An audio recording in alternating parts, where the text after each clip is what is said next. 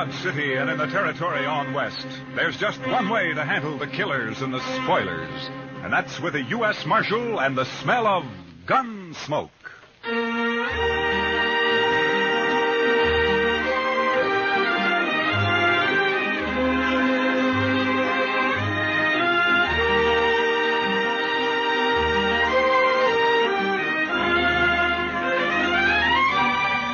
Gunsmoke, starring William Conrad. The transcribed story of the violence that moved west with young America. The story of a man who moved with it. Matt Dillon, United States Marshal.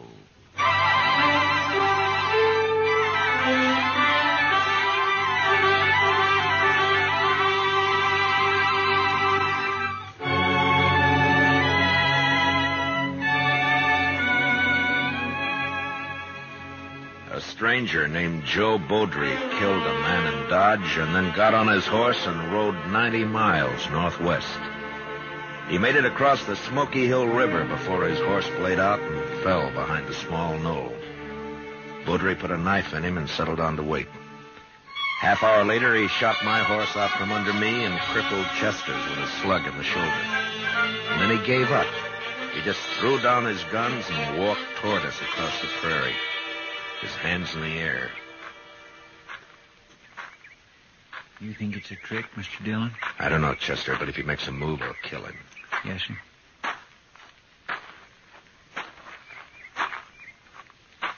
That's far enough, Beaudry.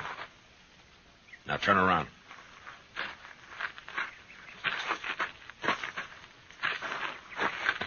I ain't armed, Marshal. No. You know, I'm curious, Beaudry. Why didn't you shoot it out?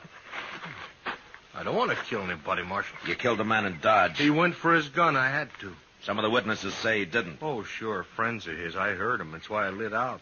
Man looks guilty when he runs. You should have stayed and faced it. Now, what there. kind of shake could I get in a strange town, Marshal? Everybody be against me. The law protects you if you're innocent.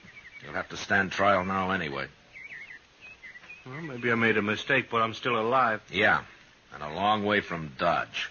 Say, by gracious, that's right. Uh, how are we going to get back, Mr. Dillon? Well, we crossed the Overland Express route about five miles back. We'll just walk to the road and wait for a stage, I guess. Yeah, but the stage don't go up to Dodge from here, sir. Well, we'll take it into Fort Donner. Maybe the Army will lend us some horses there, and we can turn them back at Fort Dodge. Marshal, Yeah. well, I know you don't owe me no favors, Marshal, but I never been arrested before. I, I'd be kind of ashamed in front of everybody on stage. Well, that's tough, Beaudry. What do you expect me to do? Only a little thing, Marshal, won't make any difference to you. Just don't let them know that you're taking me in, is all. All right, Beaudry. I guess it doesn't matter. Thanks. I'm not wearing a badge anyway. But you make one move, and I'll hog tie you, and you'll ride on the roof. Or you'll be dead. Well, it's a deal, Marshal. You'll get a fair trial, Beaudry. If you're innocent, you'll go free. Well, if it is a fair trial, I'm going back to California. I don't know why I ever left it. You come from California? Yeah. Hey, Marshal, look, is it all right if I lug my saddle back with me? Yeah, sure. We're not leaving ours. Uh, Chester, I'll go with Beaudry and get his guns. Yes, Mr. Dillon. I sure do wish you'd stop closer to the stage road, though, Beaudry. Five miles is a long way packing a saddle. Go take care of your horse, Chester. Let's get out of here. Yes, sir. It's a doggone shame, though. That was a mighty good horse. Come on, Beaudry.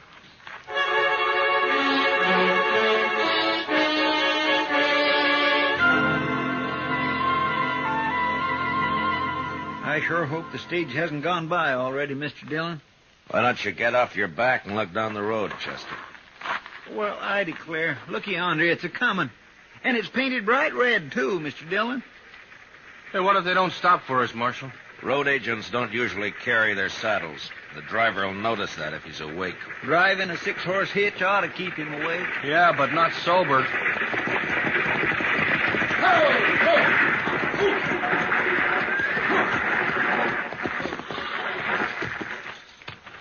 That's a shotgun the messenger's holding. He doesn't need it. We want a ride, that's all. Where's your horses? Marshal, please, you remember what you said. We lost them. You don't look like greenhorns to me. It can happen to anyone. That's good. The one in the middle ain't even armed. Pick 'em up, Hank. All right, Berryman, it's your treasure box. How far are you going? Fort Downer. It's about 60 miles to Fort Downer. You're crowding us. That'll be 15 cents a mile. Fifteen cents. How much is that, Mr. Dillon? Uh, about nine dollars, Chester. Nine dollars apiece, that is, and payable right here. All right. It's high, but I can't argue with you now. Here you are. Twenty, five, six, seven. All right, mister. Get in. I don't know how the passengers are going to like this, though. You got room for a couple more in here? Anybody can't keep his horse ought to walk home. There's room for two, maybe, but not three. Oh? Take a look for yourself, mister. Yeah, I guess you're right. Uh, Chester? Oh, now, sir, I, I can't. I don't want Beaudry on top. You'll have to get up there, Chester. Well, I guess you're right, sir. But I think you fellows ought to charge us less if I can't ride inside. The Overland stage guarantees a ride, mister. Comforts the passengers' problem. Get in, Beaudry. Yeah. Now get fixed somehow. You've held us up long enough. Give me a hand.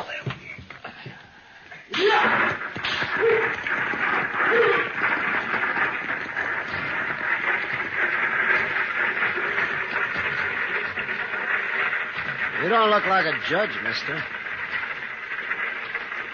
I'm not a judge. Well, you must be important somehow. We order these men around, and that fellow on top there calls you sir. Dillon? Well, let's just say that I'm sort of the boss of this outfit, mister.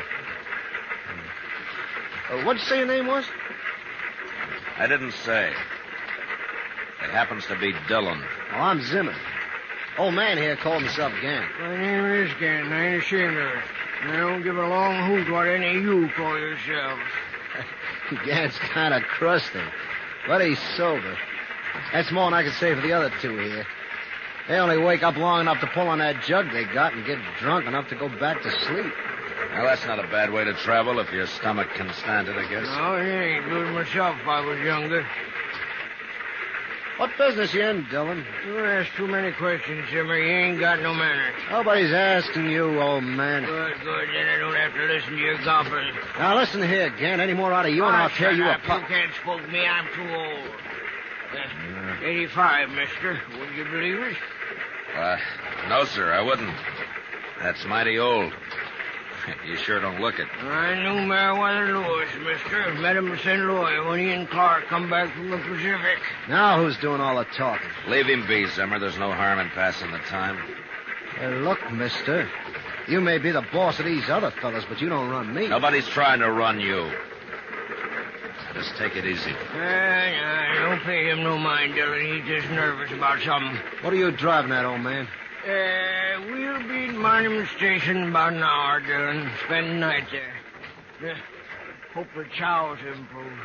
Last time I was there, all I had was fat pork. One passenger says, I never eat fat pork. So the cook told him, well, then just help yourself to the mustard.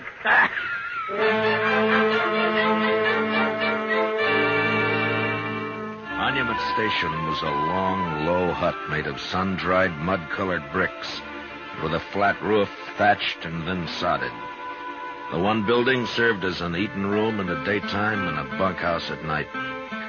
There wasn't much air inside, and after dinner, fat pork and mustard, Chester, Beaudry, and I went out to the corral for a smoke. My gracious alive, I hate to think of sleeping in there. All those men, why, a, a fella could suffocate. And I'll bet that stock tender hasn't washed himself since he left home. He said he washed his blankets anyways, just this morning. Yeah, sure. You know how? He spreads it on an ant hill for a couple of hours. Oh, well, that settles it. I'm sleeping outside. All right, Chester. But just don't get too cozy. Half the night you're standing guard over Beaudry here. I'll watch him the other half. Well, I'm not going to run away, Marshal.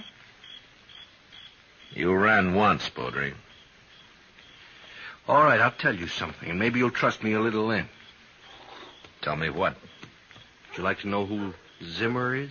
Zimmer, he that real testy fella? I don't like him at all. He's always on the prod about something or other. Wait a just minute, little bit Chester. ago, Wait a minute.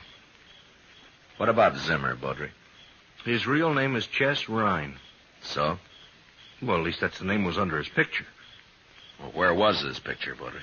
Well, in California, tacked onto a pole. Go on. Well, I think the reward was $500. Of course, I ain't certain. You sure it was his picture? Yeah, Marshal, I'm sure.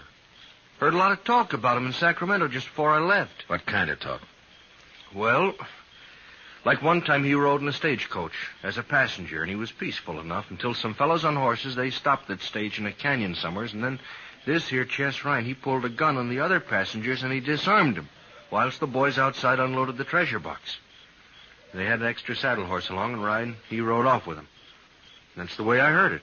Seems to me he went to a lot of trouble. Uh, sometimes the passengers give road agents as much fight as the driver and messenger, Chester. They feel safe because they're inside. Yeah, and that's what Chess Ryan figured. What, you going to arrest him, Marshal? I can't arrest a man without cause, Beaudry. You may be telling the truth, but I don't know that for sure. I can check on Zimmer when we get to Fort Donner, but all I can do to Lynn's keep an eye on Well, him. this stage will be robbed long before it gets to Fort Downer, Marshal. Yeah, maybe, but not without a fight. Thanks for telling me, Beaudry, and for your sake, I hope it's the truth. If it isn't, you're going to be in more trouble than you are now. All right, keep an eye on him, Chester. I'll be back in a few minutes. Yes, sir.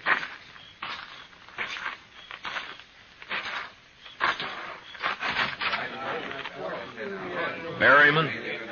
Yeah? Uh, out here a minute, will you?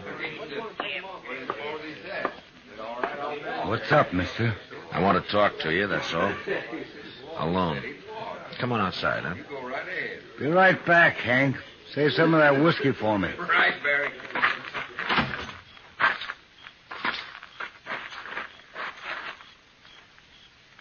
What's on your mind, mister? How long you been an express messenger, Berryman? Two years? Not that it's any business of yours. Did you run into any trouble in that time? Some? Why? I just want to know if you can handle yourself, that's all. You want to find out? Look, Berryman, you know my name. It's Dillon. I'm Matt Dillon. I'm the U.S. Marshal out of Dodge. Dillon. Dillon. Yeah, I think I remember seeing you there. Good. Now tell me this. You carrying much in that treasure box of yours? The messenger who brought it as far as Pond Creek said it was $50,000, unsigned currency mostly. Mm-hmm. Something up, Marshal? Well, maybe. Uh, tell me, what's the best place for a holdup between here and Fort Donner? Well, Willow Bend, I expect. Man on a horse could keep hidden there till we were right on top of him. All right, tell the driver to whip those horses through Willow Bend as fast as they'll go. Chester will be on the roof to help you, and I'll sort of organize the passengers inside. Well, now if there's going to be a holdup, Marshal, you well, I, I don't know. I don't know, but we'll play it safe. And, uh, by the way, Berryman, don't let on inside there about this, huh? Or, uh, who I am. All right? Okay, Marshal. Thank you. Good night, Berryman. Night, Marshal. Oh, Marshal, Yeah. we got a jug of station whiskey inside if you want a drink. I don't think it'd do much good. I've heard of that stuff freezing solid on a cold night.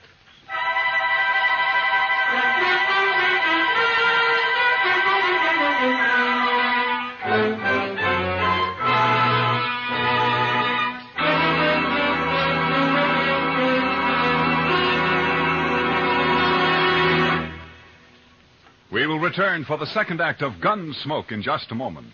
But first, backing up the great CBS Radio News Team election night will be Univac, the new electric brain operating for the first time to bring you faster, more accurate, more complete election night totals. November 4th, starting at 8 p.m. New York time, CBS Radio reports the election returns from coast to coast. Make CBS Radio your election headquarters to hear the trends, the color, and the mounting tide of results reported by Edward R. Murrow, Lowell Thomas, and the rest of the same great CBS radio team that made convention reporting history earlier this year. Now, the second act of Gunsmoke.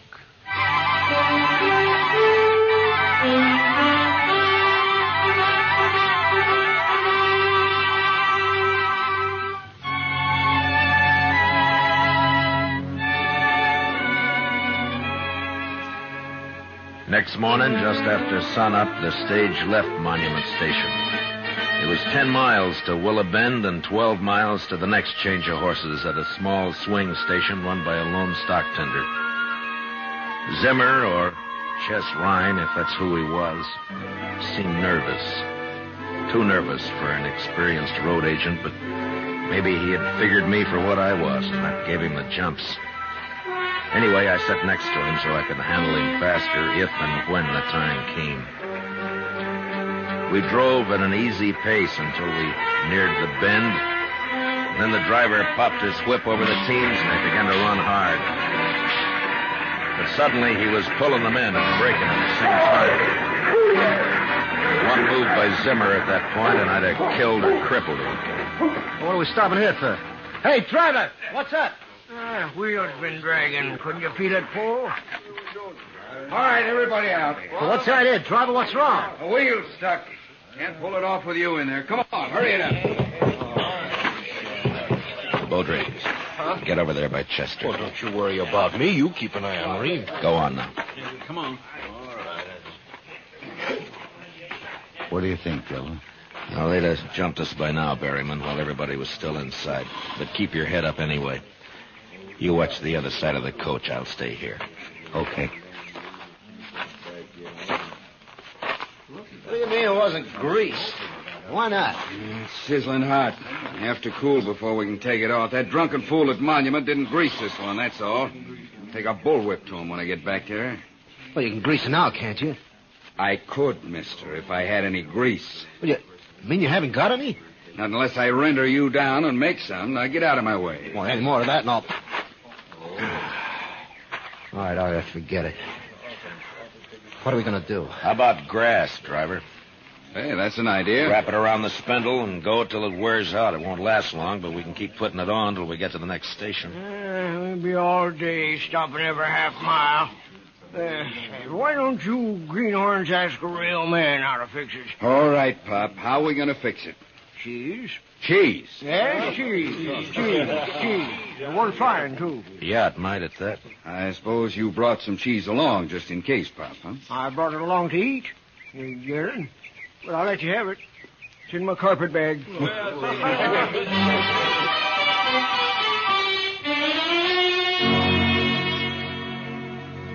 Old oh, Gant's cheese worked fine, and we left Willow Bend without more trouble. I began to figure Beaudry for a liar, but he just sat there, staring out at the prairie, and said nothing. A few miles further on, as we approached the swing station, I heard a shout from the messenger, and then Beaudry pointed ahead. And I leaned out to take a look. The station was a small one-room adobe hut with the usual corral at the rear, but there wasn't a horse in sight. And out of the two windows facing us poured thin streams of white smoke. As the stage pulled to a stop, I saw two arrows embedded in the half-open door.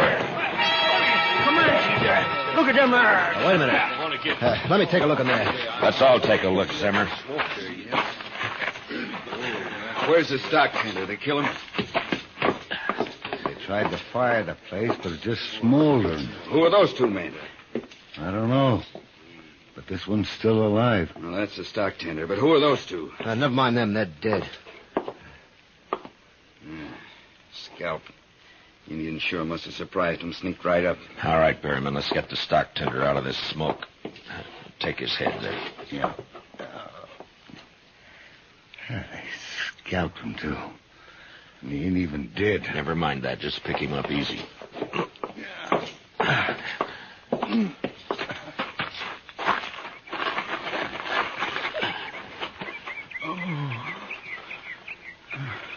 It's all right, fella. Stage is here. Indians, Comanches, they scalped me. Never even heard them. Ask him who those other men were. What were they doing here? Leave him be. The man's dying. Water. Give me a drink. Chester, get the water bag. Yes, Can't you let the man alone, Dillon? sir. Scalped three men and stole the horses. That's Comanches for you. Here's the water, sir. Oh, thanks. Here, fella. Here now. Take a drink. There we go. Road agents, those two, they held me up. They said they'd hide till the horses were unhitched. And then, then hold up the stage. Had a partner on the stage to keep the passengers out of it. What was his name? Their partner, I mean. Uh, Put my head down, mister. It's. It's bubbling over. The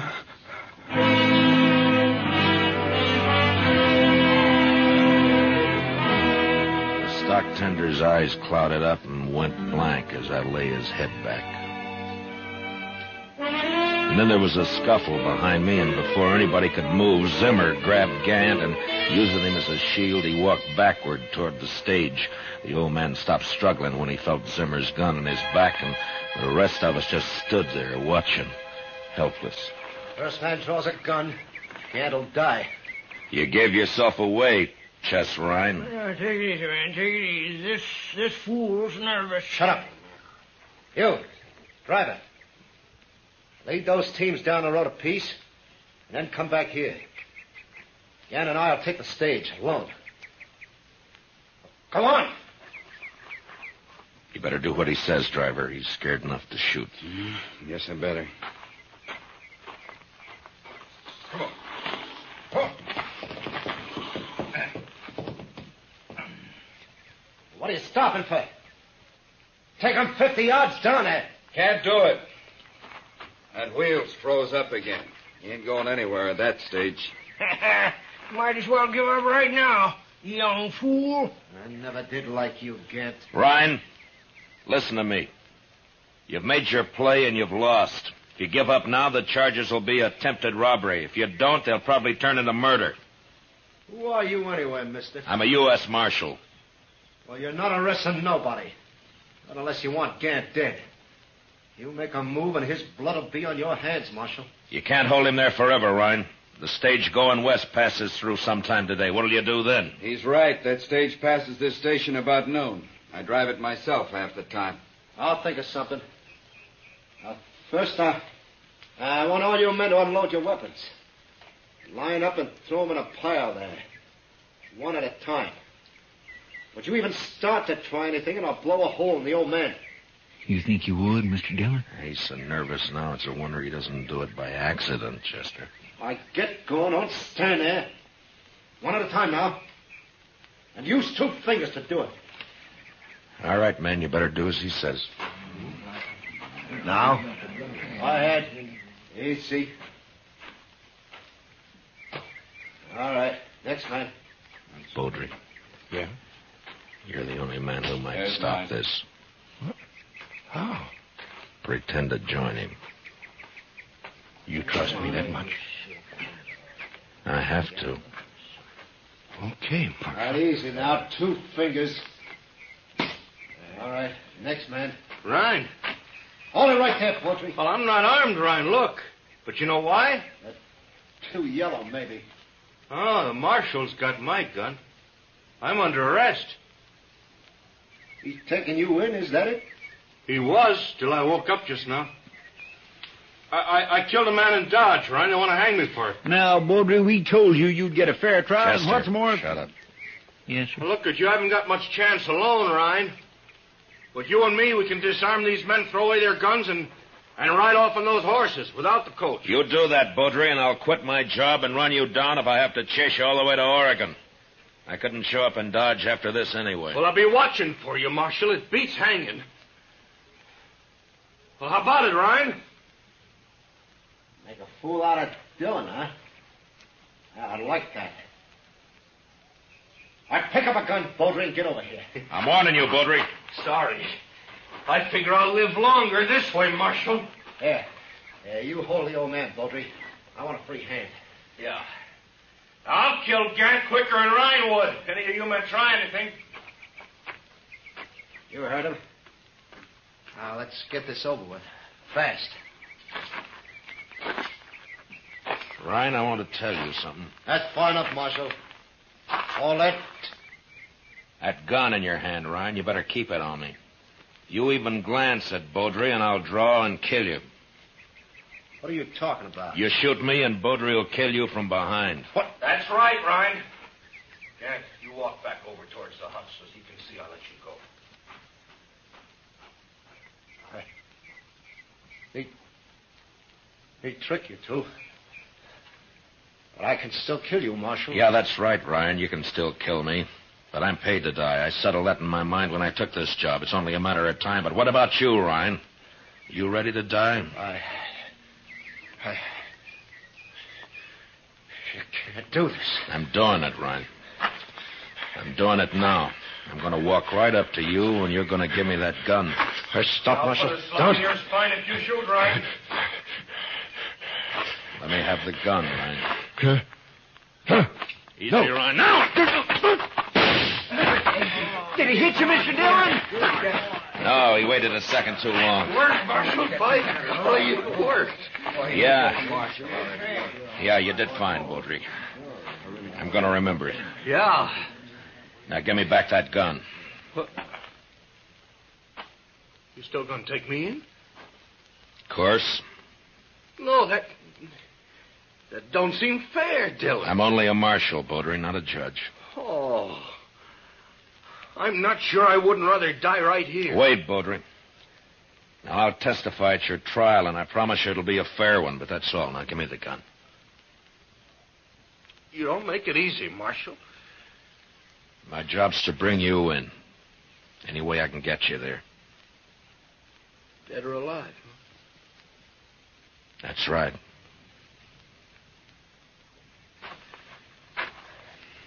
Here's the gun. Thank you.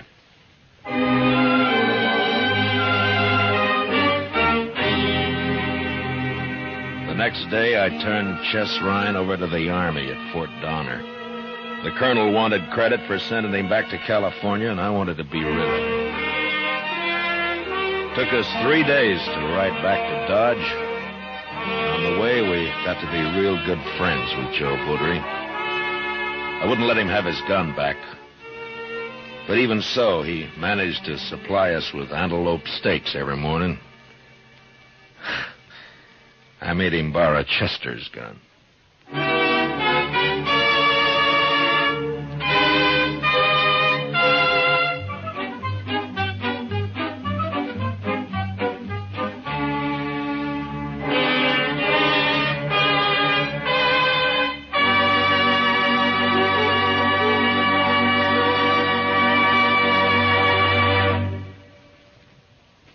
Gunsmoke, transcribed under the direction of Norman Macdonnell, stars William Conrad as Matt Dillon, U.S. Marshal. Tonight's story was specially written for Gunsmoke by John Meston, with music composed and conducted by Rex Koury. Featured in the cast were Lawrence Dobkin and Lou Krugman, with Vic Perrin, Junius Matthews, Jim Nusser, and Ralph Moody. Parley Baer is Chester. Gunsmoke is heard by our troops overseas through the facilities of the Armed Forces Radio Service. Join us again next week as Matt Dillon, U.S. Marshal, fights to bring law and order out of the wild violence of the West in Gunsmoke.